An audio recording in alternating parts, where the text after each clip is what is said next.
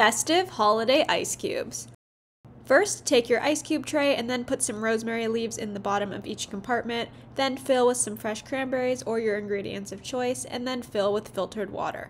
From there, freeze the ice cubes and once frozen, enjoy. For another combination, we did rosemary, orange wedges, and some fresh cranberries. Fill this with water as well, freeze, and enjoy. Once frozen, use these ice cubes with some sparkling water or your favorite holiday drink and enjoy. You can get the recipe at healthyfoodiegirl.com.